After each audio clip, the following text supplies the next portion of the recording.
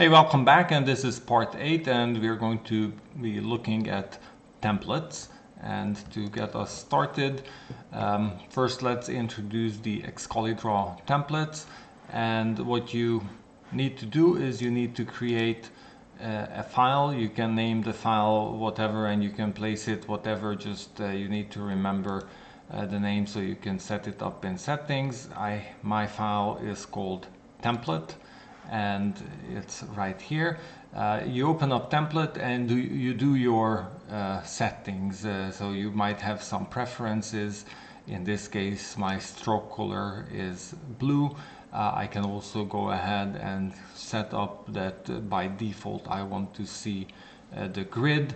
Maybe I want to set that by default I want to use the coding type text and I can if I want to change this by default to dark mode let's say this is my template. If I've set up my template and saved it then I need to go into settings and in uh, under Excalidraw I can choose where my template file is and my template file is in Excalidraw slash template. So this is the name of my template file.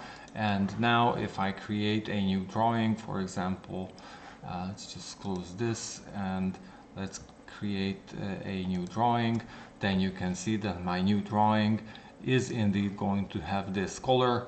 Uh, it will have this font type. It's going to have the grid and uh, it actually um, is going to be in dark mode because that is my settings. so that's uh, the simplest way to set up a template and it's very powerful because you don't need to do all the settings that you like uh, right from the beginning.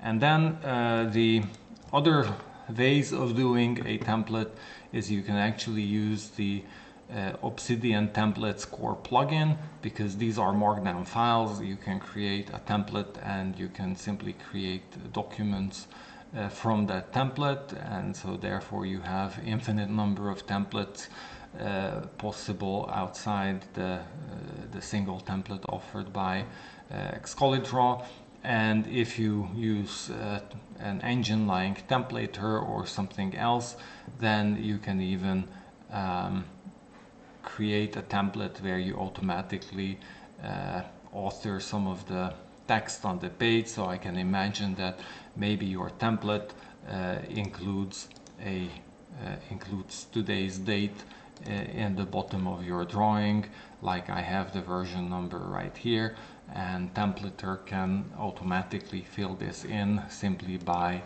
um, modifying the right text element on under text elements in the markdown file. So you would come here and you would put in your uh, templater code, for example, instead of this, and and you could uh, simply add.